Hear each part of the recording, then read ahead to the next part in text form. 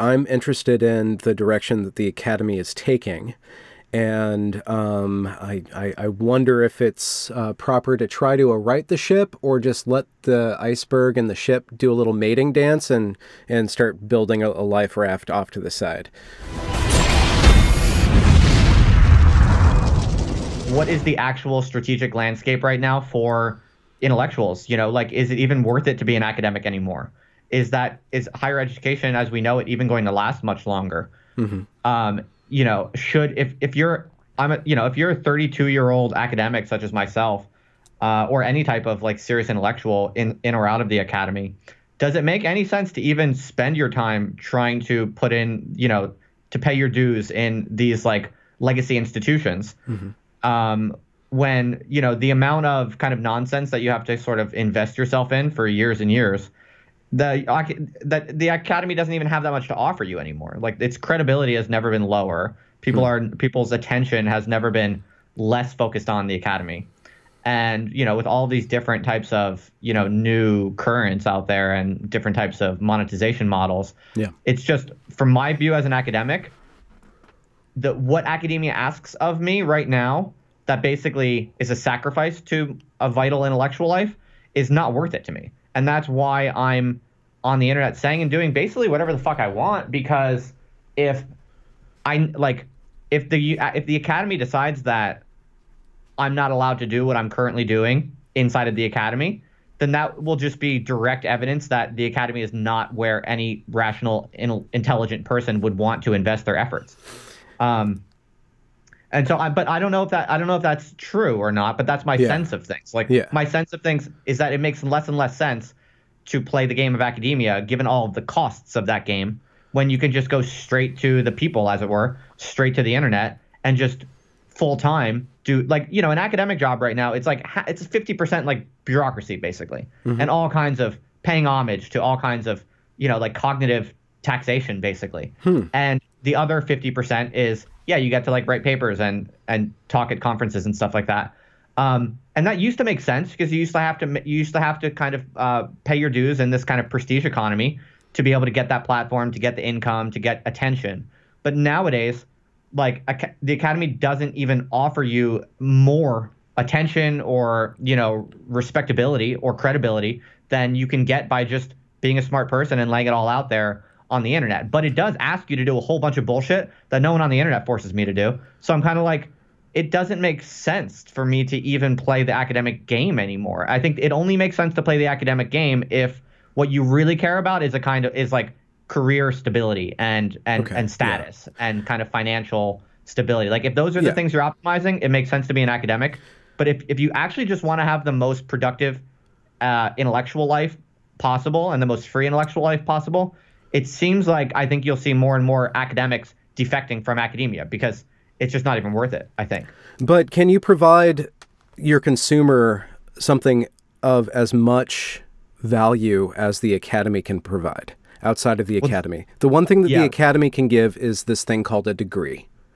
Right. It can certify that somebody has learned something. And without that, that's the one thing that I see that academia has that the internet internet doesn't. For sure, you're right. But notice that that's a slightly different question. By the way, we are just kind of still just warming up, talking with each other, right? I don't know. It sounds like we're we're in the we're in the I, weeds I already. I was getting right into it. what you were talking about is is the education system, and some people are interested in you know what is the ideal education system going to be that replaces the obviously kind of uh, defunct and increasingly inefficient, increasingly ineffective current higher education system. A lot of people are interested in that question, but that's actually, I think, a much bigger, more difficult question that has to do with yeah things like you're talking about accreditation and and market market problems. To me, I'm more interested in a, a, a very different question, which is just how to be an intellectual today. Mm-hmm. You know, if what you want to do is is live an intellectual life, and that means you want to achieve as much time as possible dedicated to seeking the truth on questions of interest and expressing those truths to the to the greatest you know public effectiveness if that's what it means to live an intellectual life, as the way I, and that's the way that I see it. If that's what you're trying to do, then what is the best way to do that today? What does that actually look like today? And I think we're still on this kind of inertia where hmm. most people still imagine that being an academic is one of the best ways to do it. In a lot of people's minds, it's one of the only ways to do it.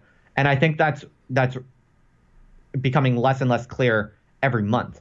Mm. Uh, you know, with the all the number of uh, you know academics who are in one way or another either being fired or quitting or defecting, or defecting and then yeah. all of the unspoken cases of young people who, you know, really smart young people who kind of see what's going on and they don't even go into academia because they're building the next big thing on their YouTube channel or whatever it might be. You know what I mean? So um, I think that's all happening more, more rapidly than people realize. And mm-hmm. it, just from my personal perspective as an academic, as someone who's, you know, I, am a successful young academic uh, who's basically finishing the kind of the early career phase of my of my academic career. And I'm you know I'm probably up for promotion soon. Like I'm you know I'm I'm doing well in academia but it's increasingly just like I'm looking around the lifestyle and I'm looking around the institutions and I'm just kind of like I just want to spend my time thinking. I don't want to do the bureaucracy. I don't really want the status or the, the, the financial security. I just want like the most radical and free, full intellectual life I want. And it's just increasingly clear to me anyway that that's academia is not where that's at. And so hmm. yeah, I'm I'm I'm in the process of navigating a kind of some kind of transition. I don't I don't know exactly what it's going to look like and I don't know how it's going to play out but clearly i mean i'm putting i'm putting more and more in my more and more of my eggs in the basket of mm-hmm. just saying whatever the fuck i want on the internet blogging and, and doing these videos and stuff like that and just letting the chips fall where they may i guess. Yeah it seems like the digital revolution it hit music first with napster and then itunes uh, uh, concretized the the monetization model for that. And then it went to bittorrent with tv and movies and then we have netflix and these other streaming ser- services. And now it's hitting this ancient uh, organism, this this elephantine, uh, ancient, thousands of years old institution. And what's that going to shake out? What what's going to what's going to fall out? What are the models that are going to be able to provide monetization for the people who provide the consumer worthwhile product? Exactly, exactly. I mean, I would love to hear your views on that because you know I, I like what you're doing, and it seems like you know you're you're working on a pretty serious kind of internet project. So, I mean, I part of the reason I wanted to talk to you is just to kind of hear your take on this. Like, how do you see it playing out? Mm-hmm. And you know, your experience so far. Like, you know, maybe if you want to respond to that, then I can ask you some other questions, but or whatever. Well, the the question that we could probably both meet at is that what what are we providing as intellectuals? What are we providing? And so we have to study what, what people want and what they don't necessarily want, but they will find more satisfaction if we can trick them into wanting it. Like, and by I mean by that I mean you start with the uh, salacious material. You start with the headline. You start with the clickbait, and then where you go from there is where you start to. I don't know if you specialize your audience or you cultivate within a broader audience a, a, a hunger for deeper questions. And and right. the trick is, I think, leading people down a path into into more and more nuance, more and more tensions between subtle points of view, rather than that huge clash that's on the surface. That's interesting that the way you think about it, because I think about it through a kind of different frame. I think about it in terms of, I feel like what's going on, the the larger kind of economic trend that that we're living through right now is one in which people are sorting more and more rigorously into economic niches that suit their unique traits and gifts and and personalities. And you see that as an economic I, frame. I see this as an economic process. I what it looks like to me is that ec- the basically contemporary kind of global techno capitalism is heating up so much, and it's it's putting a lot of competitive pressure on on people's lifestyles. So like to to eke out a good living for yourself in a current Western country, um, you know, you have to be really good at something. Mm-hmm. the best ways to be really good at something is to find the thing that best reflects your unique set of gifts. Mm-hmm. And the part of that is, and actually personality traits, kind of temperamental features that aren't necessarily thought of as economic, are kind of a part of that, especially in this kind of screen crazy, hyper digital media environment that we're living in. And so the way that I actually see this is the way it looks to me is that all of the culture markets are increasingly being fragmented in this kind of hyper refined way hmm. according to kind of personality traits and kind of affective, emotional types of identifications. And Could so you give, like, give an example, like Alex Jones yeah. versus Quillette or something like that? Yeah, sure. All of these would like all of those kind of current um, big names in independent media. You know, and you let's we can just rifle off a few of them, right? People will know them, like Quillette. You said Alex Jones, someone like Jordan Peterson, someone like Joe Rogan. What all of these people are, the way that I see it is like, you know, in the 60s and 70s, we had, you know, well before cable, more like the 50s and 60s.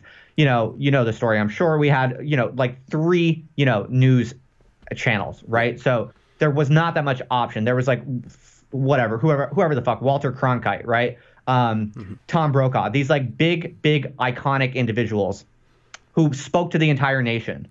If you didn't relate to Tom Brokaw uh, or Walter Cronkite, no one really gives a shit if that doesn't match your personality. You didn't have any choice. Hmm. But with the explosion of media choice, then what happens is you can have 3,000 Walter Cronkites, and what they're primarily different in is their personality. You know, there are intellectual differences, there are cognitive differences, there are all kinds of individual differences, but what's the underlying model that I see playing out is mm-hmm. a fractioning um, based on uh, like a smaller number of fi- of players who optimize a particular kind of personality niche. Mm-hmm. So like if you're kind of smart and you like ideas and you're you're kind of into philosophy and stuff like that or whatever, you're into politics and, and thinking critically about politics, but you also are like a meathead bro and you like to lift weights and fight MMA, you're gonna like you're gonna love Joe Rogan. So Joe Rogan is gonna be the Walter Cronkite of all the people who are interested in talking about ideas and learning about the news, but who have a personality similar to and traits similar to someone like Joe Rogan. So currently, Joe Rogan is the king of all of the people who have traits at all kind of like Joe Rogan. Mm-hmm. Uh, but what I think we're going to see each passing year is there is some sort of sub Joe Rogan that covers most of the same interests, but is slightly different than Joe Rogan, yeah. but a little bit more refined. So maybe like you're kind of like Joe Rogan, but you're a um, you're a devout um, you know Protestant theologian. Mm-hmm. And so you're going to get all of the millions of people who watch Joe Rogan and give yeah. Joe Rogan a more than ample lifestyle. Yeah. All of the people who are hardcore Christians, it might only be one tenth. It might only be you know point zero uh, percent of the Joe Rogan fan base that are hardcore Protestant Christians. But if you can do like a real thing and you're and you're really into it and you're supplying that type of worldview and information and entertainment, then all of those people who are currently devoted to Joe Rogan are going to switch to be more devoted to you because the, the alignment is more direct. Their identification, mm-hmm. their emotional experience is more direct. And I think what I think you're seeing this happen actively. I think this is act we're in yeah. the process of this. In real time, yeah. It's happening. And I think the ultimate long run kind of trajectory of it is that you're going to have a bewildering quantity, a huge quantity of small communities that are super highly um, hmm. refined hmm. according to like what people genuinely most desire and are interested in. It, will that? Do you think yeah. that that will lead to uh, greater fracturing of uh, society with regards to like tribalism and fighting uh, between yes, these groups? Do you think that'll that'll yeah. increase? I think it's going to get much worse. Really? Yeah, I, I'm hopeful that after that there might be some process of more authentic and genuine and healthy kind of uh, aggregation from hmm. those bases. But all of the people out there currently who are kind of doing speaking tours talking about how we need to heal the conflict, we need to, you know, depolarize, we need to make liberals and conservatives be able to talk to each other better. I think it's a lovely idea. If it was possible, I would I would be, you know, I'm sympathetic to the to the idea emotionally, but I think it runs absolutely counter to everything that's actually baked into hardcore kind of economic processes underway right now. Yeah. And I think it's I think it's it's basically a kind of fairy tale that again, I think it's inertia. I think public intellectuals are for years. That's just been the frame. That is what you say in every popular book you write for Penguin or whatever it might be the case. You, it always has some sort of frame about here's the social problem, and then here's like the the liberal solution about how we're going to heal. Here's a way that we can heal society to make everyone get along. Like that's just an inherited frame, and um, it kind of made sense when there when you had a super centralized kind of uh, uh, media structure and, and, kind of broadcast structure hmm. because you could pretend that you're kind of you're going to be the healer talking to everyone. You're gonna you're gonna send the ideas out into the world that gets everyone on the same page because everyone has to listen to you.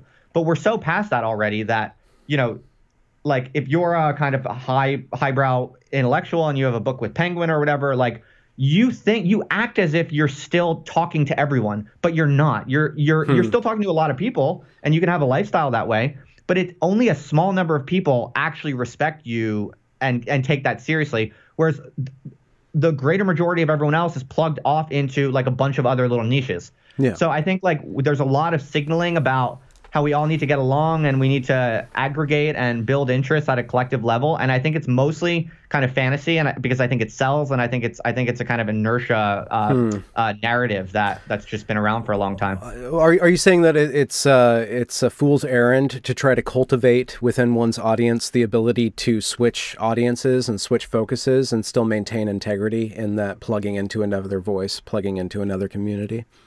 Oh, I wouldn't say that. I think that sounds lovely. I think that's the kind of open mindedness and um, intellectual diplomacy that I'm quite interested in, that I, I, try to do with myself and that I try to affect and, and, and share and cultivate yeah. with myself and my friends and also like my viewers or whatever and my readers. So I, I think you and I have that in common. I think the people in our types of niches, you know, but again, that that's our personalities. That's the mm. types of people that we are. That's mm-hmm. what we're interested in. And the only people that are going to watch us and enjoy that and participate in that hmm. are the relatively small set of people who are already relatively predisposed to doing that. and that, you know, it might be a, it might be a fairly large number of people, but the larger fragmenting processes that are underway in, in kind of the body politic strike me as much more much larger, much more severe, and kind of underway more rapidly. Is is uh, it's kind of depressing, but that, that's how I see it. I think. Yeah, I was. Th- this thought just struck me last night. I was thinking about. I don't know the exact dates, but in in England during the like the Reformation, and after the, the printing press came out, there was all these pamphlets. There was just this explosion of pamphlets and this explosion of people like discoursing with the religion. And it seems like the whole uh, conservative uh, progressive clash right now is replicating what we saw in England during that period, I think the 16th, uh, 15th, 16th century, between Catholicism and Protestantism. And that became very, very violent. Do you, are you ver- well versed in that uh, era? I know a little bit about yeah the the you know the relationship between the printing press and then the Protestant yeah. Re- Reformation. I'm not I'm no expert at all, but I'm I'm very aware of what you're talking about. Sure. Yeah, I just wonder if like if we look back at that period of history, we can see the ways in which things stabilized after that really rowdy period. And was it just everybody decided to be uh, were forced to believe this certain thing, or did they figure out a way of discussing these issues that didn't involve uh, full on internecine warfare. Whoa. Hey, not sure what happened. Whenever I ask the really difficult questions, Skype's like, shit, don't, we're not going there. We're not going there. It's the CIA, man. uh, yeah, that's a really good question. To be honest, my answer to that question is I'm not sure that the frenzy of the Protestant Reformation ever did stabilize. Hmm. I, th- I I do think you really can tell a fairly compelling narrative in which we're still living through kind of just the most recent ripples of precisely that catastrophe. Mm-hmm, mm-hmm. I I this know fragmentation, this this utter fragmentation that's market driven in in a certain respect. I think you could you can tell a fairly continuous history from today all the way to the Protestant Reformation. Mm-hmm. So it's not clear to me that you know it's not clear to me that there are any lessons from that period of how things might settle. Okay. Because I don't know. What I see from that moment, what I see from the beginning of modernity really is a kind of large scale, longer term process of perpetual fragmentation. You have some you have some creation of large scale systems. You know, you have modern states and you have the international system. And then you know, you you definitely see some uh, kind of unifying, aggregating uh, efforts. Obviously, the totalitarian countries and, and, projects of the of the 20th century. You can think of lots of efforts in modernity hmm. to try and uh, harness, you know, technological power to build something really large and centralized. But for the most part, those tend to end badly. Mm-hmm. You know, so if you think about like you know the anarchist critique of of how how states perceive populations by someone like James C. Scott, right? Seeing like a state. Um, if you think about just the the obvious horrors of both left wing and right wing kind of uh, large scale totalitarian politics in the 20th century. Hmm. Um, and you even just look to simple things like the nation state today and how it's kind of increasingly sclerotic and seemingly unable to uh, do anything compared relatively to you know the the nimble and agile uh, movements of small scale startups and, and things mm-hmm. things of this nature. It just seems to me that hmm. the story of modernity is one of increasingly centrifugal forces in which so people have tried to kind of harness them for big organized things, but the big organized things tend to always come crashing down, it seems mm-hmm. to me. Or at the best, they kind of stall out, become big, sclerotic, and useless. And then all of the action, all of the energy is in people competitively coming up with new ideas, exiting the sclerotic ones, and doing something new in, in, in small, fragmented, increasingly centrifugal hmm. uh, ways. But is there is there a way to avoid all out warfare and still keep the spirit of innovation going, the spirit of, of contest and competition? It's a great question. It's a great question. I certainly think it's worth a lot of energy to try and figure out if there is a way to prevent conflict. To be honest, I'm not I, I'm not so bearish on on conflict. I mean, I do think that there are a lot of forces at play right now that if you know you can imagine things playing out in ways that lead to something like actual violence or civil war. I think, you know, a lot of people probably underestimate the probability of that, uh, of actual, you know, serious civil war kinds of dynamics being mm-hmm. uh, in the cards. Yeah. Maybe for, you know, Western societies. I think the average person probably somewhat underestimates the the how possible that could be, but I don't think it's it's at all probable. You know, I don't think it's it's impending doom, and I think um, certain people who tend to kind of fetishize collapse narratives and um, you know uh, doomsday scenarios. I think there's a certain type of community that you can find kind of on the internet that I think overestimates yeah. the the the the violence propensities of of the current situation. Yeah. I don't know if that's uh, a useful answer to you, but that's the way that I think about it. I mean, I think I tend to take a kind of small scale approach to this, and I think that like what you what what's most probable as a, as a kind of desirable outcome is you see more and more individuals, especially kind of like thought leaders in their community, and this is a pretty small scale thing. Like I don't mean uh, famous people, I mean you know people who in their community are respected and who people look to for advice and mm-hmm. and who will kind of take their take their lead because they tend to be you know uh, forthright and responsible those people, I think, will increasingly see that this like large centralized, uh, kind of insane media driven social game, the the yeah. legacy games, are are completely just losing losing uh, wagers in every possible way. Mm-hmm, mm-hmm. The responsible kind of thought leaders of like local communities will increasingly just of their own accord withdraw all of their attention and energy from these like centralized uh, social games hmm. and focus on uh, improving like what's around them and and improving their community hmm. and inc- improving their families and stuff. And I think you can imagine that kind of thing filtering through the larger like media bubbles as a kind of contagion phenomena. So hmm. to me, I think that's like the the the the best thing that could possibly happen is the fragmenting dynamics are allowed to kind of continue, but everyone in their own unique little pockets uh, learns how to um, optimize like their own lifestyles within each pocket, mm-hmm. and to the point that they basically uh, become sufficiently healthy and self-sustaining that they're not even really worried about each other. Not even paying attention to each other yeah. anymore. Yeah. I, you know, I think that's realistic and positive, relatively. Yeah, it seems though that there is a contingent within academia and the op-ed activist crew of trying to stir up crap. Uh, you know, calling uh, calling out one one example that I'm thinking of right now is the um, is uh, like uh, talking about whiteness or imperialism and decolonizing and projecting this totalitarian force that's implicit within uh, Western culture and trying to attack that. And and I worry that they're trying to start some shit that they can't really see to the end of. They're just, you know, they're I don't know what game they're playing, but it seems like it's not a really healthy game.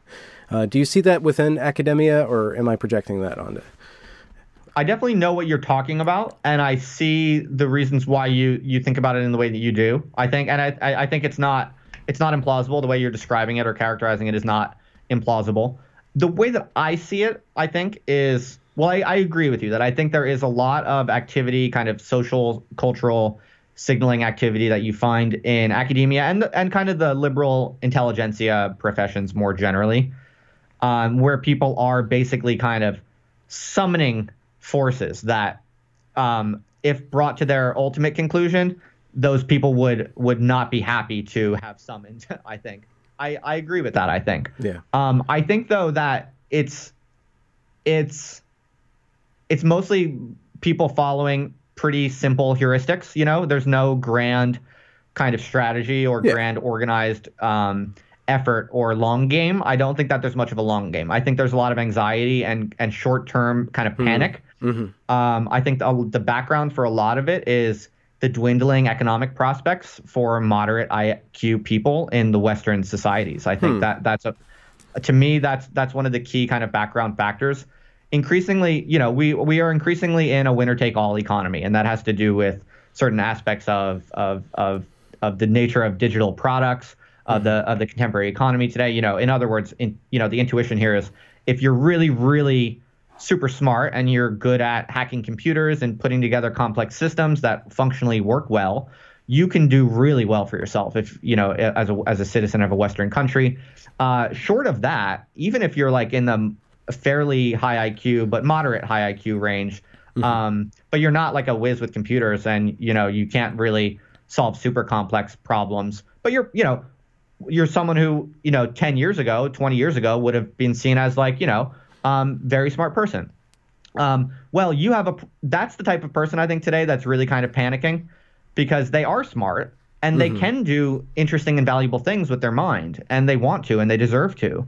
And they also want and expect, based on historical expectations, mm-hmm. to have a fair bit of status and respect for for their, you know, fairly high but only moderate moderately high intelligence.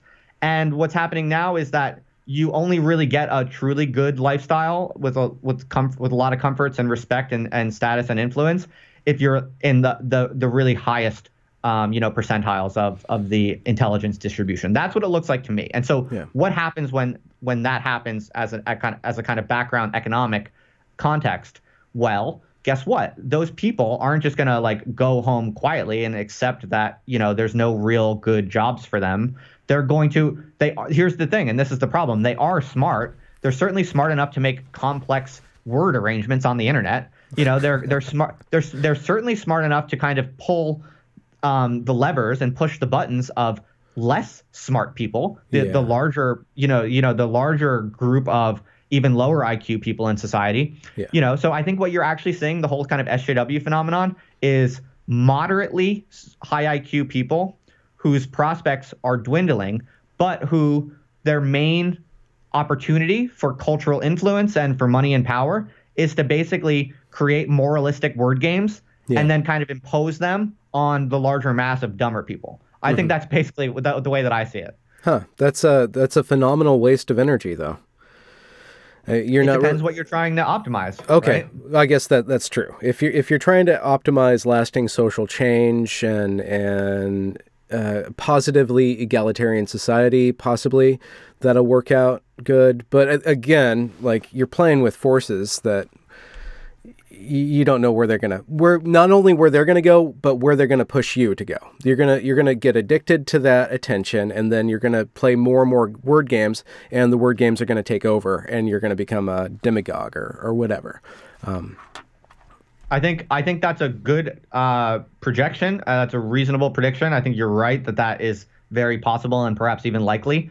I just think that for hmm. the the type of person that you're you're describing and trying to understand, that's just seen as well. There, I think there are two psychological kind of processes that that that come in, come into the mind of that person that make them not reckon with what you just said. One is that maybe you're right, Benjamin, but everything we're doing is basically just self-defense against the people who have actual power which is capitalists and you know like white men or whatever it might be um, and depending on the person's uh, perspective but it can always be kind of justified people tend to justify these things what they're doing in a particular you know cultural moment with respect to they see themselves as as being forced to just basically defend themselves and and weaker people mm-hmm. uh, because you know someone more powerful started it somewhere down the line or something. Mm-hmm. I think that that goes very far in the psychology of of mm-hmm. people, and so they think like if that is true, Benjamin, if those things might happen down the line, well, it's not my fault. I'm just I'm just defending myself, basically. Well, it um, seems like you're in, in a situation where uh, people have targeted you for words that you've used on the internet. and and they've made some moral declarations or moral judgments on you, and now now you're in a bit of hot water with your institution. How do how do you how does that change your your thoughts about the, that moralistic force that's uh, being a bully in in this in the name of justice, in the name of protecting other people? Well, first of all, I should clarify to be a responsible citizen that I have no idea what my university is thinking or doing. I uh, I it's to the degree there's anything happening, it's totally confidential. So I I can't even talk about it. But um, and also I should say, you know, you had said that I'm in hot water. It's not even clear that I'm in hot water. At least not yet. I mean. I I there's no there's no currently there is no uh, disciplinary um, action on me yet. Mm-hmm. Um, so so I'll keep you posted on that. But for the time being, I'll have to be somewhat mysterious and uh, not really clarifying any of those details. But but we can talk uh, about other cases where this has happened, where people say things on the internet and then the moralistic force comes and, and consumes them, and they get fired or shoved out or right. whatever. Uh, yeah, no, it's fine. Uh, your question is fine. I, I was going to move on to answer it. I was just giving that kind of caveat, so this isn't uh, played back to me at some future possible uh, disciplinary event. And um, what I would say is, I mean nothing that's happened to me uh, recently or not recently has affected me very much because I mean I've been thinking about these things for a very long time now. I the past several years I've been thinking almost full time about precisely these cultural politics. So mm-hmm. this is this is what I've been blogging about and thinking about and talking about. For me, it all started actually more than almost two years ago, about a year and a half now, when I I kind of had my my final break with like the activist left, um, that I was kind of pushed out of like a, a, radical left group that I was an activist in. Mm-hmm. That was when I had my moment of reckoning where I was like, I really started to, that shook me into high gear to start thinking about these things. Um, so n- none of the flack that I've gotten since then over the past year or whatever from any institution or individual on the internet has surprised me or shaken me or, mm-hmm. or messed up my, you know, attitude towards these things because the way and in fact, it's quite the opposite. Like, I'm now playing a different game, is what I would say. Probably mm. about a year ago, a year and a half ago, when I realized how bad things have gotten culturally, how sensitive the entire culture has become. It basically became clear to me that if you want to be an intellectual in today's society, in Western society today, and by intellectual I mean you know live a whole intellectual life where you give your you give everything to trying to figure out you know the most pressing and dangerous puzzles that you can figure out mm-hmm. at whatever cost may come. Like if that's the game if that's what it means to be an intellectual, as as I believe it is, um, the entire kind of mainstream institutional culture right now is so sensitive that you simply cannot um, submit to even trying to kind of tiptoe around all of the all of the prohibitions mm-hmm. and even have a chance at making any kind of significant intellectual progress yeah. because there are so many there are so many prohibitions to tiptoe around that you'll spend your entire life tiptoeing that, yeah. you'll, that you'll never get around to actually working on the the meat of the puzzles that you're most interested in. And so I just decided a year ago basically that and to me I think this is the rational strategy for like any intellectual in academia or outside of academia is to just make a, a, a principled decision to not give a shit, say whatever you want, be completely authentic, and just trust that your own ethics will, huh. you know, that like trust in your own ethics. Like I don't say things that I think are truly bad. I don't. I try to be a good person, but but other than that, I say whatever the fuck I feel like saying in that moment because I'm confident you know, it's probably mm-hmm. not harming anyone. And just because a bunch of people might say it harms someone, I'm not going to stop and think twice about that. I'm going to okay. assume those people are crazy idiots because the world is filled with so many crazy idiots. That might sound cruel, but I feel like that's how that's the heuristic that you kind of have to have, and well, then just plow forward okay. and let the chips fall. Let the chips fall where they may. That's what that's how I see it. Yeah. Uh, the the other strategy is to find those little sensitive nerve endings and start to play with them. And I think Trump is a master of that, or at mm. least took advantage of that as much as possible and still does. Uh, you can you can you can play foot uh, footsie with it. Uh, you can ignore it and just barrel through, or you can say, you know what, this is an opportunity these these nerve endings are an opportunity, and then and then you can either take advantage of them or you can try to to right them or or try to figure out why the, that sensitivity is is exposed and figure out ways of, of making it less sensitive. Do you do you think that it's a worthwhile project to try to stop the culture from being so sensitive, or is that just not a worthy goal for you personally? Oh, I'm definitely all for trying to make the culture less sensitive. I think that different people are equipped differently to do that through different tactics, though, I think. Yeah. And I think there are probably multiple pathways to having that type of effect. For me, I'm temperamentally suited to the to the tactic of just inundate it with you know authentic honest uh, yeah. insensitivity for irrational sensitivities Okay. And hmm. do you know what I mean? Like my yeah. my wager my wager is kind of like if if if if basically good people and basically smart people just cultivate a kind of radical nonchalance towards the million hmm. sensitivities that all the people have and you just go hardcore on whoever the whoever the fuck you really are like just say what you actually think and feel yeah somewhat insensitively um people will adapt to it quite quickly. One because it's cool. I mean, it's it's refreshing. People love to listen to yeah. it. People like to listen to that. People like to be around that. People like to be friends with that because it's just authenticity, right? It's just being yeah. yourself. It's irresistible to most people.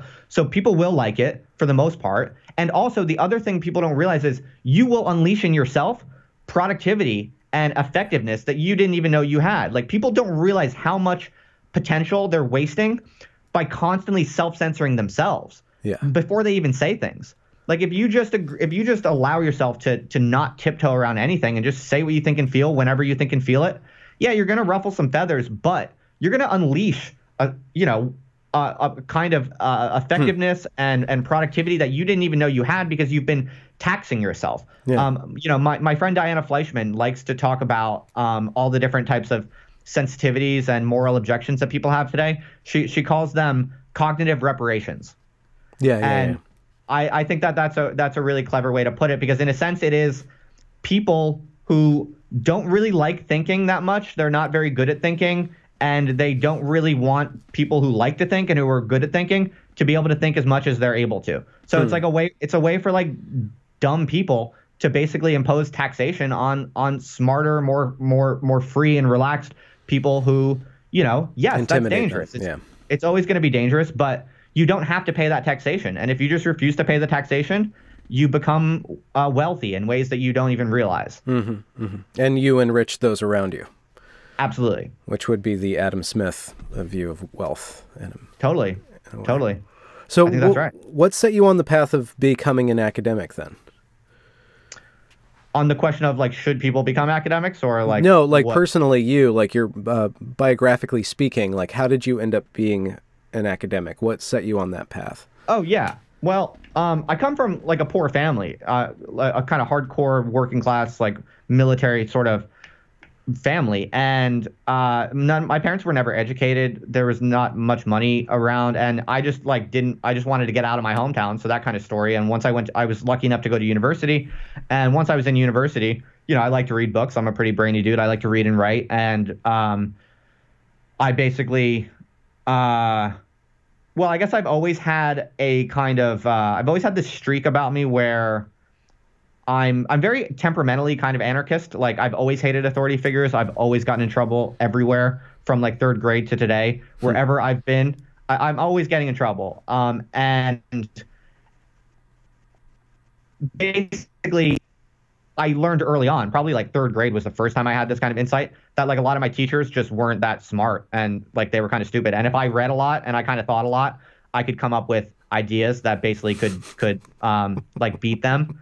And in some sense, I, I kid you not, Benjamin, but like I'm an academic. I decided to become an academic because of this massive chip on my shoulder where I just wanted to basically be smarter than all of the idiot teachers that I had when I was a kid. And uh that yeah, basically, in some sense, that's I, when I was in university and I just read a lot. Mm-hmm. I didn't want to have to do like the shit I was supposed to be doing, so I was just like, okay, I'm gonna just read a lot. I'm gonna get really smart on the things I'm interested in, And hmm. if I if I can just stay inside this academic game, I'll get really close with like my academic mentors. Uh, if I can just stay inside this bubble, then I won't have to worry about like getting a job, and I won't have to worry about like yeah. competing on the open market. Yeah. I'll just be like super brainy forever and be really smart, and then I'll like destroy all my enemies that way. Uh, and I think now that I've arrived into academia and I've kind of got that chip off my shoulder, and I'm now yeah. content. That, I'm now content that I'm smarter than my third grade teacher, um, and I've really shown her who's boss now I'm kind of like I've scratched my itch and I don't feel that strong of a need to be an academic anymore. well, the one of the ideas that floats around that surfaces now and, and here and there and now and then is that the problem with academia is that there is no free market pressure on ideas, so that really bad ideas can flourish because there's no pressure, uh, there's no competition there. What do you think about? Is there a possibility of introducing that pressure? Uh, or competition of ideas into academia, like that Sokal squared hoax that came out. It kind of shows that there's this kind of crusty weirdness going on in certain districts of academia. And how do we deal with that? And how do we flush that stuff out so the real work can develop and, and flourish? Oh, I don't think there's any flushing that out. No. Personally. Okay, it's no, rooted. I don't think so. I would correct one thing that you said though, or I, yeah, I would quibble please. with one thing that you said. It's not that there's no there's no competition in academia. There is a lot of competition in academia. Yeah. The problem is what are people competing on? Yeah. Right. So you know, like the the the most notoriously dumb uh, you know, cultural studies journals that are getting a lot of flack today, they are competitive in a sense. They're mm-hmm. just not competing on discovery of objective reality. Okay. Right. So they're comp- what are they competing on? Well, they're competing on a bunch of things. Obviously, in some sense, you're competing for it's it's aesthetic competition, right? Like how beautiful does the turns of phrase in your like critical article sound yeah. to the editor? Um, how you know how how much sophistication are you able to affect right and then obviously to climb the ranks in academia even in gender studies you are still competing on things like conscientiousness how much can you produce uh, how much hmm. um, you know like even in gender studies like the more you publish mm-hmm. in more elite journals you know higher ranked journals uh, you know the more accolades and money you're going to get so there there is intense competition. Okay, yeah, yeah. It's just they're not competing on a search for the truth. Like hardcore proper scientists are competing to discover tidbits of of reality, right? Yes. And it's a it's a kind of competitive game to prove or disprove, um, you know, people's models of the world. So they're like in a, in an ideal scientific discipline, you're competing for um, discovering the nature of of something real and empirical in, in the world. Mm-hmm. Uh, but the the the the disciplines that have gone astray, it's not that they're not competitive; yeah. they are still competitive. It's really hard to get a tenure track job in gender studies. You have to be really good at the game of gender studies. Yeah, it's it's cutthroat competition. It's just a totally different type of competition. You're competing on all of these other soft human types of soft skills, you know, yeah. like aesthetics and and morality and and sophistication and also, you know, things like cultural capital, like who is your mentor, yeah. this sort of stuff, right? So it's intensely competitive. It's just that okay. they're they're competing on the wrong things. And so that's why I think there's no way there's no question I think of reforming any of it. I think the whole game of academia is that it's this um, protected structure you know, yeah. it's it's it's baked into the very nature of the career. It's why people want the career. Basically, is that if you can break into it and you can compete in that system and do well in that system. Okay. The whole point is that you are you are you are cultivating a life in which you do not have to compete on an open market of value value provision. But you're still and, uh, competing on a closed market then. Yeah, you're competing in these like internal like arbitrary hierarchies. Okay. Interesting. But but there's the the idea of like somehow fixing gender studies or you know the more astray disciplines. Um, by the way, I don't think all of it's bad. I think just some parts of it have gone really totally off the rails. Mm-hmm. Um, the idea of like, I don't think there's any fixing that. I think the best you could hope for is through kind of public ridicule and public um, awareness. Uh, it just it starts to wither away, and people don't want to go into it anymore, and there's no funding, and it just kind of just kind of goes away. But the idea of like converting it into some like more scientific truth seeking discipline, I mean, uh, I, I don't see any pathway to that, but okay. maybe someone can figure it out. Well, uh, speaking of the the scientific game, where you, are trying to prove or disprove models of the world, Right. How how would that how would that possibly translate into the public intellectual, the internet, the I intellectual maybe, or the internet intellectual? Like, is that is that a game that can be established without the rigorous uh, peer review process, relying relying solely on the audience, the numbers, and then exposing yourself to to clashes of interest with other people? That's a really good question, and actually, I'm glad you asked it because I've been thinking about this for a long time, and I've never really written much about it, or in some ways, I'm experimenting with it uh, in a practical sense with my own work, but um, I don't think I've spoken on this or written about it. So it's a good question. I think it's important to realize that you can have robust systems of, of peer review, or at least you know strong systems of uh, kind of collective accountability. Really, is the is a yeah, more general exactly. way to think about it. Great. Without having centralized structures. I mean, if you get a bunch of smart people in any type of community, even with no rules, but they're all there because they're trying to seek the truth and they're smart enough to hold each other accountable to what is good method and what's not method and what's believable and what's not believable.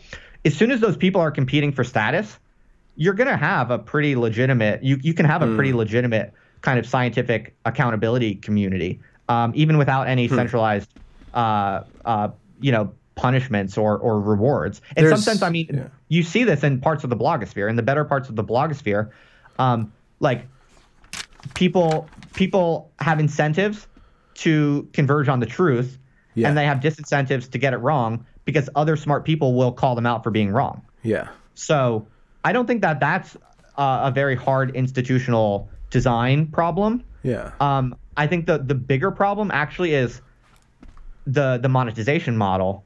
You know, how do you reward that enough yeah. that enough smart people want to do it? And my thinking is because I'm this is kind of exactly where I'm at with my own very life right now, is that currently you can get a good income by being an academic. If you're really smart and you're good at you know doing research and stuff like that you can if you're lucky get a get a good stable income as an academic.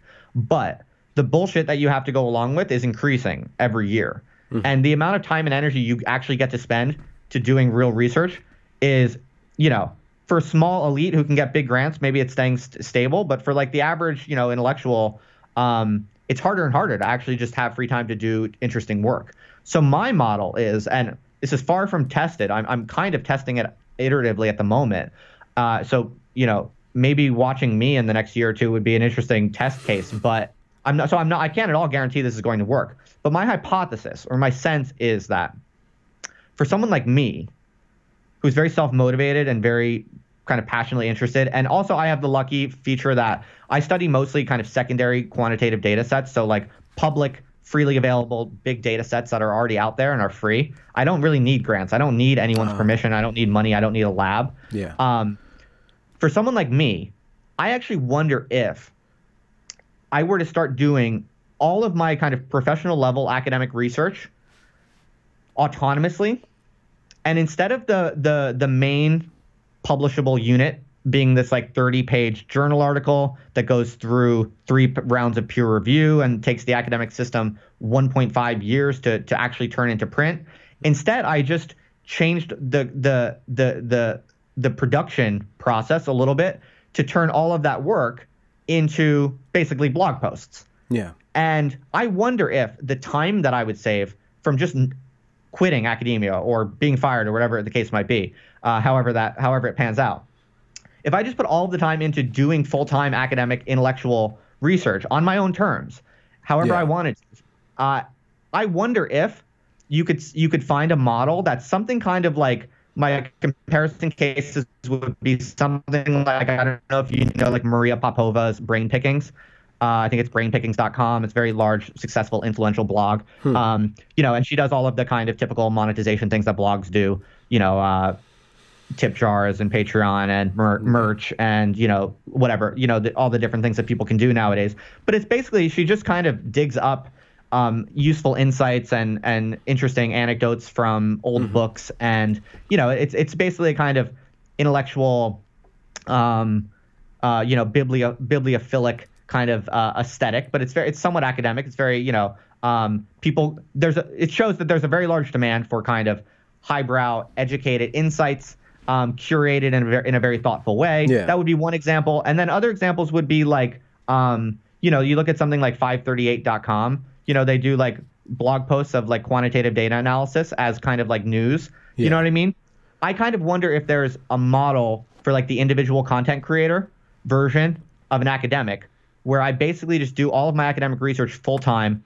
I do like one nice high quality blog post a day uh, in my own kind of aesthetic with my own style, and it, and it's kind of edgy and interesting to people because I get to say whatever the fuck I want in my own language, yeah. and it has a kind of appeal to it that most academics aren't allowed to have. I actually wonder if that could be.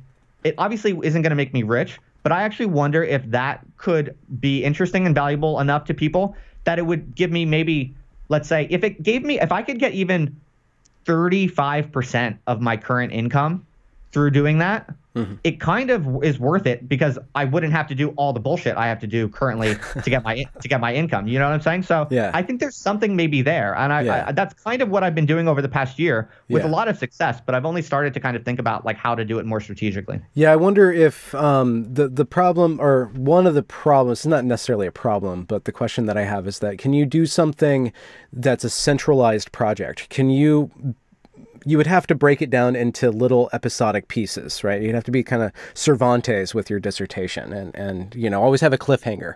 Like think think kind of like uh, think like a, a pulp writer, you know, kind of use the pulp genre to to extrapolate to build a bigger project because that's the, that's the thing that you wouldn't be able necessarily to do unless you strategize strategized it. Like within academia you're like okay I'm going to I'm to make a book. It's going to take me 10 years to write this book. I'm going to do this book and it's going to last 50 years. It's going to it's to be worth reading for 50 years but I need the time to really check every little bit of it. And the thing is is that with the internet model or the blogosphere model is that you'd have to always have have a tentative, everything's always tentative. Like, I'm going to do the best I can with this one piece, and I'll go back and revise it later. And I think people are, are amenable to that. Yeah, I think I think that's that's the ideal way to do it, right? I mean, all scientific knowledge is should be understood to be uh, provisional until it's mm, until mm. it's improved or disproven by you know the next person, and that's so that's good. I mean, uh, do you know Scott Alexander? Do you know the Slate Star Codex blog? Mm, I don't know. I don't he's know. An interesting, he's an interesting case. Uh, as I said, I've, I've been thinking about this a lot, and I've done a lot of research on different types of people's models. But yeah. he's kind of like a rationalist, uh, and he's a I think he's a psychiatrist by profession, but he just you know is really smart, really brainy kind of guy who writes a lot, and he writes these really long, thoughtful blog posts, and he has like a big community around him. And a, and a deserved community because he's really smart and interesting and a, and a good blogger. But he's, I mean, his blog is very, very very widely read. I mean, he could pro, you know, he's a good example of someone who's kind of already doing what I'm talking about, yeah. but in a less conscious sort of academic mold. Like I'm thinking about this as a specifically as a model for academics or prospective academics yeah. or unhappy academics to basically defect from the higher education institutions into a kind of rogue model.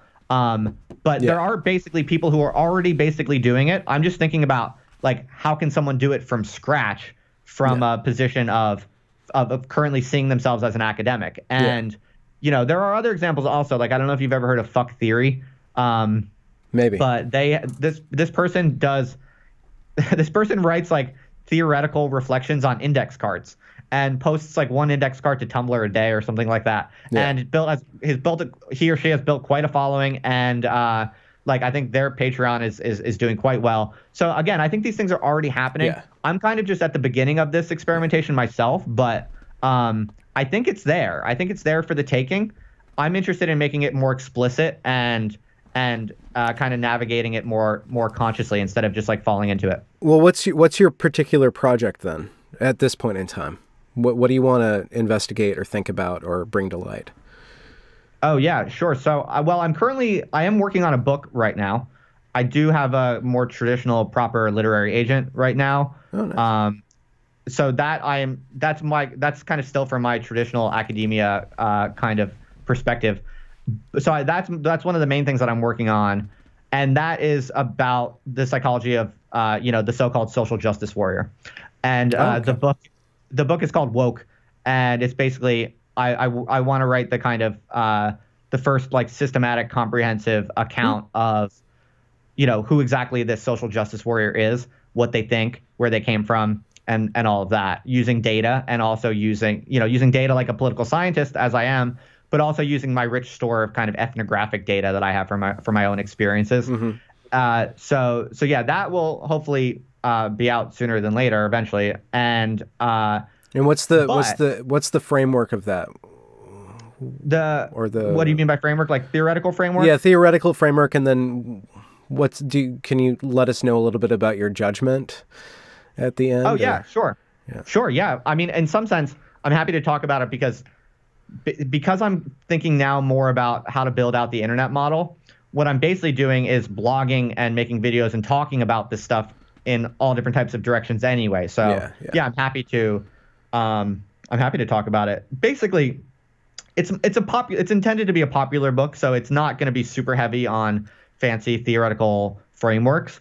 Um, but if, for people who have read, um, it's basically a combination of of two theoretical frameworks. You you could say one people will know a lot about if you know if you read people like Jonathan Haidt, for instance. Um, I it's it's like basics in uh, moral psychology mm. is is one half of it. So everything you get from Jonathan Haidt's, you know, The Righteous Mind, and uh, so it's first just m- making people see what it means to make, uh, you know, moralistic political c- claims in public. Like why? What are the actual underlying reasons why people do that? Yeah. Um, that's the first kind of half of things you need to know to understand like what the SJW is even is. Yeah. And then the second half of the story, that so that's not novel. I'm not breaking any ground in terms of psychology research or anything like that. Um, but the second half of the story that I want to tell, that I think is unique and that I think is poorly understood, is well, I actually alluded to it earlier in the conversation. It's the larger kind of ec- economic and technological changes that we're living through. Yeah. Um, and I don't know if you follow these other debates that I've been having with people, but I'm very interested in this idea of accelerationism, which is kind of roughly, uh, it's a kind of, uh, you could call it a kind of political theory, um, if you'd like, but it's kind of a it's kind of a framework for understanding uh, the course of technological change and political change in modernity as a whole. So it takes a very kind of large scale bird's eye view hmm. of of the the period that is modernity. Yeah. And it basically argues that modernity it's, it's we tend to see modernity as this kind of intrinsically explosive process mm-hmm. um, characterized by lots of kind of exponential curves right so yeah. the probably the more you know the the most famous kind of representative of this is the idea of the singularity right which is a kind mm-hmm. of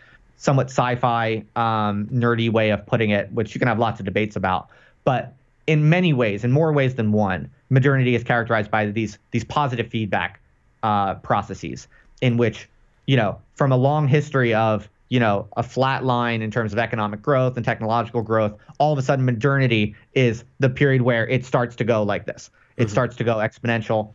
And so accelerationism is a kind of uh, viewpoint on the current cultural politics that sees one of the major key variables is just the extraordinarily rapid rate of change, basically. Yeah. yeah. And I think that when you take that really seriously and you process that, hmm. which uh, a lot of kind of mainstream academics don't take seriously, I think. When you see that as the background, you basically combine that idea with the kind of basic ideas from moral psychology that you get from someone like Jonathan Haidt. And I think that the larger picture that you get is that um, the contemporary contemporary economic and technological changes are basically putting uh, unprecedented pressure on people, mm-hmm. and it's increasingly crowding out kind of everyone but the most intelligent uh, hmm. cr- you know, producers. And hmm. I think what's happening is you're seeing all types of uh, kind of cultural meltdown in which people's moral psychologies are being scrambled and kind of overheated, basically, mm-hmm. by um, by by rates of change that are completely at a kind of inhuman scale. And uh, something like the social justice warrior is just what happens when a particular type of person with a particular moral psychology basically just tries to uh, navigate their way, but in a kind of accelerating uh, capitalist context in which uh, they hardly know what's hitting them. Mm-hmm. And what is the uh, in the conclusion of the book? What's the healing that you're going to bring to the social justice warrior? That's a great question. I am thinking about how to how to navigate that. I I'm not sure exactly because yeah, as I alluded to, this is one of my beefs with kind of mainstream like prestige intellectuals and you know popular books with Penguin Press or whoever it might be. I guess I should stop talking shit about Penguin Press. they're not they're not going to give me a book deal if I if I do. But um, whatever. This is my this is like my main beef with that whole type of intellectualism, which is you always have to come through with some sort of like nice sounding, appetizing solution. Yeah. And um, to be honest, I'll be perfectly honest that whatever it is my preference would be I don't know. Like if I don't have one, I don't want to give one, but I you probably do have to have one. So I'll probably just think about that. Uh, uh, the honest truth is, I think what most authors do is they just tack that on at the end to make it sound good. So I'm just going to be transparent in telling you straight up that that's probably what I'm going to do. So I wouldn't take it with too. I wouldn't take it too seriously. Just like I wouldn't have yeah. you take too seriously the positive recommendations in any of these like mainstream books because I don't think that they're very uh, compelling. Hmm. But um I might come up with something better. Yeah, yeah, but you, you still see it as uh, I guess it's not a problem when you look at it as just a function of the pressures of the environment. The yes, the the wokeness culture is just the function you're reducing it down to accelerationism and, and these these key factors and then combining it with psychological insight. But it just seems like once you start talking about insight, then you're like, well, once I understand this thing, I can manipulate it or I can avoid it or I can stamp it out or like there's there's always like there's some sort of overture for solution or counter. Once you understand something, you can control it. So are you just going to wash your hands of it at, at that point? I've That's a good question. And you you kind of helped me remember one of my uh, I guess attitudes towards that, which is I guess I'm inclined to think that the best way to kill bad ideas and stupid behaviors is to just reveal them for what they are as yeah. as clear as clearly and mercilessly as possible. Yeah. And that at a certain point when people are aware enough of like what's really going on, then the stupidity will just kind of dissipate and become and, and will kind of dissolve and go away. Yeah. That doesn't always happen, but I guess I'm kind of partial to that model. So like I don't think that the proposed solutions in the concluding chapter of yeah. many like popular politics books are usually very good, but a good book can have that effect, that kind of unspoken effect. Yeah, yeah. yeah. It's implied. I have yeah. one more question. I have to I have to wrap it up soon. Um, cause oh no, I wanted to be able to ask you questions too. but job. Okay. Oh no, well, we can we can do this again. I was um, keen to know more about like your model. Like I want to know more about the kind of cultural politics behind everything you're doing and how you see it. And yeah, well, I mean, but we can we can talk about it another time if you want. I guess I'll I'll just briefly say that when I started going, what what started me on this journey was being at a college called Evergreen State College, and it had a big, big blow up, and I saw I saw what led up to that. Uh, there was a huge protest. The college was taken over. You probably know the story. Everybody that watches me knows the story. And I saw the lead up to that, and there was things that were worrying me. And then I just started talking about it on, on the internet. I got a platform all of a sudden was handed to me, and then I started, you know, just like issuing video after video after video about that one topic, but always with my always with the question in mind where where am I going with this? What what is this good for? There's there's a mm-hmm. story. People want to know about the story, but what are we going to learn from the story and what can we take from the story and apply to other things? And so I've been thinking about using that, and I, I think I have been using what I've learned from from the particular instance of Evergreen, then apply it to other particular instances, but really kind of trying to see what what do I really want to uh, mm. to produce and and to give. And this is kind of the question that I had for you: is mm. what's the difference between an intellectual and an educator? Hmm. It's a good question. I, I, I model question. the intellectual life, but I, I want to be an educator. I think that the the that's the substance, that's the the value that I give. I'm I'm, I'm a teacher of, of in some respect. I mean, I think that's a beautiful thing. I think education is a very noble pursuit, no doubt. I would never disrespect it, but I would say maybe that the the intellectual vocation is hmm. somewhat different in the sense that education implicitly seems to require, you know, like you care about kids and shit like that, you know, whereas the intellectual just wants the truth, uh, you know, has a certain kind of thirst for the truth hmm. that is almost, it can be antisocial, it can be uncaring, it can be hmm. not very good for kids, it can be not, maybe even bad for kids. Uh, it might not be teachable. It might not be amenable to anything that looks like education. Um, and so I think there's always been this kind of conflict between intellectual, the intellectual, and the educator. Um, you can definitely do both. Like people have people have done both. Uh, people have focused on one or the other.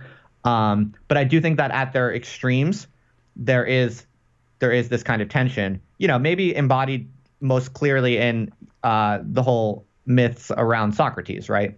Mm. Um, in some sense, he's a pure intellectual because all he's doing is going around, you know, trying to poke holes in people's false arguments. Um, but in some sense, he is an educator for doing that, and yet, you know, he's ultimately put to death for corrupting the youth. Yeah. So that kind of that kind of embed that that that whole story kind of I think summarizes what I'm getting at, which is that like true intellectualism at a certain extreme gets defined by everyone around you as harming the youth. And so if you want to be an educator within the norms of a society and you mm. want to be respected as an educator, you kind of have to betray a little bit, maybe here and there, you have to hmm. kind of betray the hard edges of intellectualism hmm. to, you know, keep appearances for the kids. Hmm. So do you do you think of yourself as wanting to be more of an intellectual than an educator? I mean, you know, I love kids and all. I don't want to sound like well, a dick or anything. Okay. Like, well, you, you, talk about kids, but the college is about. Is a 19 year old still a kid in your eyes? It's a good question. Well, uh, just to answer your question, I think that um, I don't. I'm not trying to sound cold or, or cruel or anything like that. Or that's I'm not fine. Like, you hate kids. That's great. I, I, I no judgment. No, no, no. no. Um, I guess though, to, to answer your question directly, if I had to choose, I I personally am temperamentally more uh, interested in and dedicated to that kind of somewhat almost antisocial lust for the the most dangerous truths that I can I can access. Mm-hmm. And if I had to pick between doing that and hmm. being like uh, being accepted or respected as an educator, yeah, I, I would choose the former every day of the week. But I'm not I'm you know, I'm happy to educate and I, I'm happy to share what I know with people if, if they're interested in it, uh, hmm. whether they be kids or, uh, you know, young adults. Mm-hmm. Um, all I'm saying is that I think people would do well maybe to understand more explicitly and consciously that there are these trade offs between hmm. intellectualism and um, being like a friendly face for what other people think education should look like. Okay. But is do you, the uh, do you have a take on that? Well, I'm just thinking about like with taking that idea into the uh, the private, the public intellectual, the monetized public intellectual. You're so you're you're uh, what you're bringing to market in the online intellectual lifestyle is not education. You wouldn't think of it as education. You're not trying to educe or develop people's skill set. You're simply presenting ideas and pu- pushing buttons and hoping that people like that. I would say that the the true intellectual is definitely going to um, produce some education as a byproduct, no doubt. Okay. So I'm definitely not saying they're mutually exclusive. Um, yeah. I'm just I'm just saying that they're there are they're only somewhat correlated, and hmm. at their at their extremes there are trade offs. Okay. So, um, no, I mean I think if if someone dedicates their life to radical intellectual pursuit. And they write what they find and they share the you know they share their products of their journey as they do it. That's going to be hugely educational for many people who are so interested and and attracted to that form of content no doubt. And that's one of the reasons i'm interested in doing it. And that's one of the reasons why i think it's worthwhile for sure no doubt. So i think i think we we agree we would agree okay. on that for sure.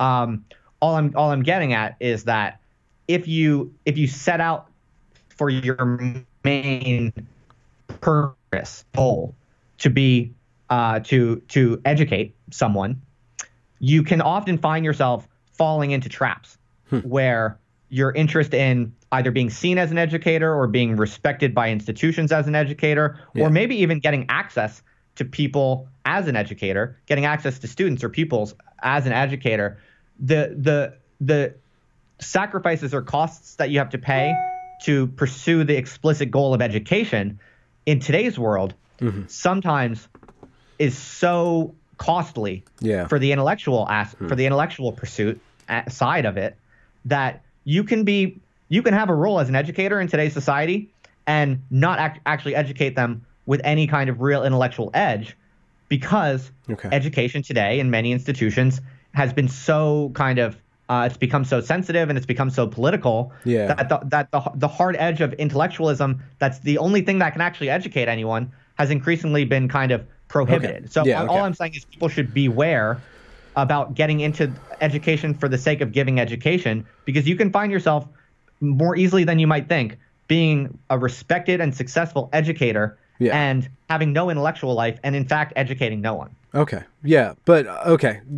thanks for clarifying that. I, I just I I'm just thinking about being a public educator similar mm. to being a public intellectual. Like like do they map onto each other? I, I think they do, but maybe the difference is that the educator is more focused on the audience, whereas the intellectual is more focused on the idea or the or the discipline that they're working within and forwarding the discipline, forwarding the arguments rather than than bringing people up to speed on the argument. Is that? Yeah, I think that's that? a fine way to put it. Or you yeah. could just say it, it's like a difference of emphasis between, mm. um, you know, the novel discoveries and the transmission or sharing of those discoveries okay. to other humans. Like, yeah. you know, those are just different strengths or weaknesses, I guess. Yeah. And would you like you might you might be strong in one but not so strong in the other. Yeah. Okay. Um, and you would focus your efforts on one or the other, maybe. Yeah. But you have to do both if you're going to be a public intellectual. If you're going to have people connect with you and want to follow you, it's it's yeah, not just probably. discovering the ideas; it's transmitting the ideas. Like you were saying when we were talking about Joe Rogan and stuff. Like there's there's a way of communicating the ideas that will draw a certain um, certain class of people to you who jive with your particular skill set of communication, and then there's the ideas themselves where you maybe you go after other people who uh, who are who are focused on the same issues, but you're not connecting with them through their personality, through their charisma. You're you're focusing on the ideas and the way that they're dismantling the ideas and wrestling with them. Okay. on, on that. Sphere. I can see that. Yeah, I can see that. Do do you have to run? Yeah, I should. I, I have to wrap up because I have uh, I have this split shift job where I work with kids. Okay, cool. I'm not going to get you in trouble for talking shit about education, am I? I haven't. I, I feel like I was defending education. That, but that was that was a good way to, put it. Like, yeah, I do have a problem with the the system of education, the institution or the institutions of education. I see as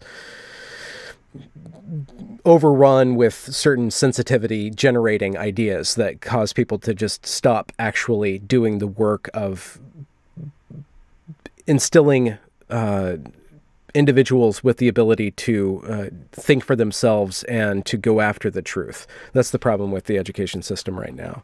And that's why I would want to jump boat if I was ever in academia, which I'm not. I'm on the outside looking in uh, to to try to figure out like what is the what is the next academia? What is the next education system? How can we digitize that? How can we decentralize that? What is the Napster of uh, Napster version of Oxford, you know, something like that. What would that yeah. be?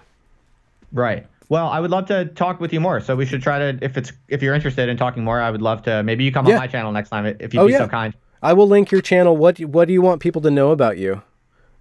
Oh, whatever. Um, to connect with I you. Have to... fair, I have a lot of free time on my hands at the moment. so basically, I mean, over the past year, I've just been blogging like hell and yeah. making videos. And I've, in particular, I've been doing a lot of live stream conversations where I talk with random people around the internet, usually yeah. people who represent like weird fringe ideological subcultures. That's mm. kind of been the recurring theme. So, you know, you might hear about strange pockets of the internet, and I'll find like a representative from that weird pocket of the internet, and I'll just have them on my on my YouTube channel in a live conversation where I just ask them like, "What are you all about? What do you actually think?" Mm-hmm. And uh, that's really kind of caught on. I, I've been quite pleasantly surprised how much people enjoy that. So there's a little audience and community brewing around that. But the main thing is I've just been blogging like hell, and I do all of my creative work under this kind of little label I've just kind of invented for myself called Other Life. It's also there's also an audio only podcast version of the live streams and the conversations that I've had, and um, yeah, so it's kind of other other life is just basically like my other life outside of academia, like all the stuff I'm most passionately interested and curious about. I've just been kind of doing that full time, however the heck I feel like it. Yeah. And uh, I've just been experimenting wildly with all these different formats. And so, yeah, people are interested in that. They can just Google around for it. It's not too hard to, well, to I'll find. Link I'll link it. Don't I, worry about it. Yeah, I plan on. I, but I, but basically, I'm I'm I think I've already more or less made the transition, at least mentally and in terms of my workflow. Like I'm basically doing all of my. I'm doing uh, internet almost full time now. Um, like I don't know how it's going to pan out. I don't know how my academic like situation is going to pan out. Yeah. I certainly don't know how the money situation is going to pan out. But I'm basically doing all of my intellectual work in this kind of like really freewheeling uh, internet full time kind of way, and uh, so that's where I'm at, and we'll just see how it pans out. And what's what what, what would be your genre then, or your your uh, your discipline that you're working with then? if you had to choose well one. so i'm a political scientist by by profession and as i said before in the in the chat my expertise is uh, the quantitative analysis of kind of large uh, data sets and so a lot of my most popular blog posts over the past year have been uh, very large data analyses that I've done. So, for instance, I've like estimated the public opinion among Jordan hmm. Peterson fans, and I found that you know there's a sizable faction of left wingers who really like Jordan Peterson. Hmm. um, that's something I'm really interested in because I study public opinion, and I'm really interested. As I told you, I'm writing this book about social justice warriors and yeah. the new ideological subcultures. I'm trying to understand who's really in what pockets of of the ideological space today because it's much more confusing than people think. So Jordan Peterson has a lot of left wingers. I also did a big data analysis on estimating the public opinion of Kekistan. I'm sure you've heard of it. The kind of alt it's it's people call it an alt right kind of phenomenon. Is it? And it is. But okay. again, I, I I had this hypothesis that there's actually a lot of lefties hiding out in there, and my data finds some evidence for that. And so I'm kind of I have these political science uh, research agendas where I'm kind of trying to tease out the reality of internet subcultures and public opinion. And then I also have I blog about kind of theories of uh, technological change, and I'm trying to basically understand um, hmm. like how do how what is the best way to think about the actual changes that we're living through and the the extraordinary fragmentation that we're living through. As I talked about before, I think people underestimate how severe it is, and I think hmm. it, things are happening much more rapidly than any kind of normal like institutionalized academics really have are able to keep up with just by the structure of their job really. Mm-hmm. and and and so i'm trying to develop like vocabularies for um, thinking about this like most you know rigorously and, and accurately.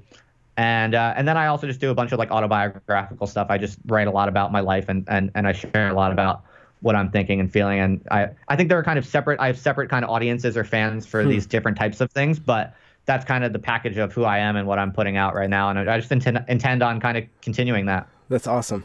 That's awesome. And Thanks, it, it, one last thought.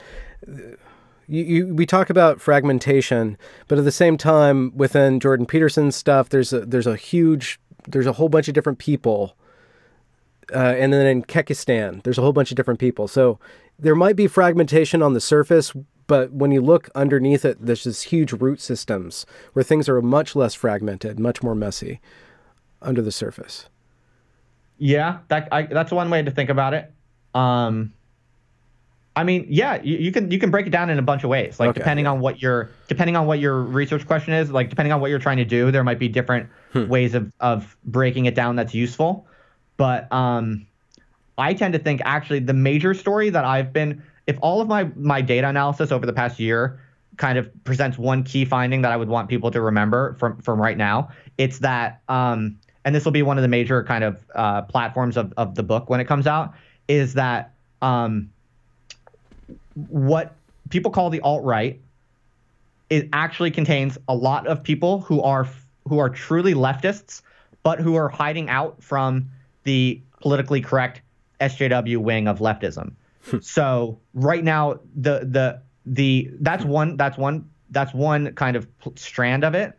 The other claim that I believe is true based on my data analysis that I, I would really want people to to uh, remember is that um, the uh, the current image of what the, the left wing activist is in the public mind today, basically the, the SJW, the kind of campus activist who wants safe spaces and trigger warnings and is offended by everything. That image of the leftist today, a lot of people, almost everyone who talks about this topic, from Jordan Peterson to the Weinsteins and, and, and everyone, assumes that those people, those crazy campus activists, are extreme leftists and they're not extreme leftists. They're actually moderate leftists. They're extreme, but they're not extreme on leftism. They're they're actually only moderate leftists who are extreme on something I would call it authoritarianism. I think yeah. Brett would call it authoritarianism also. So they're extreme, but it's a, it's a crucial distinction that they're not actually extreme leftists. Everyone talks as if they're the crazy yeah. fringe extreme left, and the moderate left has to bring them in. It's actually the opposite. It's the true radical leftists, the true ex- the true extreme solid left wingers who have to call the authoritarian leftists merely moderate leftists. And all of my data shows that. Yeah. And it's a really important little wrinkle that almost no one has right yeah. at the moment. I, have I, I found that in my investigations into Evergreen. Like like at Evergreen, there are true leftists who call out the protests for actually not being leftists, just authoritarian. That's right. Moderates and stuff. So it, it's an interesting little. Uh, I don't know if that's wordplay or some sort of uh, miscategorization, but I guess if you categorize categorize things more precisely, then you'll be able to undermine the the problems within that contingent. I think so. I think so. I think it, it, matters that if you can if you can map this out clearly for what it is, it goes a long way to diffusing things. In part because a lot of people th- there's a there's a silent majority on the left who think all of the political correctness stuff is stupid, but they're just afraid to say it. I'm hmm. sure you know people like that. I know lots of people like that. Anyone on the left knows lots of people. Everyone agrees, and almost everyone agrees in private that like the worst examples of political correctness activism are stupid. Um, but no one's willing to really go out and say this is stupid because they're afraid of the flack that they're going to get. They're afraid of getting fired, whatever. They're afraid of being called ableist or whatever it might be. And uh, that's a major problem of preference falsification. And one of the best ways to uh, solve problems of preference falsification is um, you get the actual truth of people's opinions out there and once everyone can see how the public opinion actually breaks down, it incentivizes the silent majority to actually just be straightforward and honest. And then that, that's how you can kind of dislodge hmm. a kind of small minority from having this like uh, disproportionate power over the image of the entire group. Yeah, that sounds exactly what's happened to Evergreen. Exactly what's oh, yeah? happened to Evergreen. Yeah, most most professors are they're fed up with all the bullshit. Um, but the, so the bubble, the bubble has popped. No, everybody's everybody's still silent. Uh, the the oh, people oh, really? are, the the the equity agenda has taken over and is is implemented uh, to to okay. disastrous effect to the actual running of the college, to the sci- the integrity of the sciences, the integrity of the humanities, the integrity of the freaking library, you know, and, wow. and then the the way that the administration's running with the money. Funding. Are you still a student there? No, I, I graduated right before the protests, which was a year oh, okay. and a half ago. Yeah. But you so. still kind of have your, your finger on the pulse. yeah, yeah, I, I, do. Uh, that's my ongoing, long running, uh, uh, what uh, Count of Monte Cristo thing that I, I just keep right. putting out a episode every couple weeks or so because I keep on getting data and, and showing what's going on. But but the same okay. thing is that if people actually communicated with each other, they could fix the problem. But it doesn't seem like they're doing that. Uh, okay. Well, you can tell me more about that on my channel if you will, if you'll join me sometime soon. Yeah, absolutely, Justin. Thanks a lot for joining me on mine. I will uh, let you know when this goes live, and you can share it on your Twitter if you want to. Of course. Thanks for hanging out with me, man. All right, Justin. Have a good night. All right, I'll talk to you later, dude. Cheers. See ya.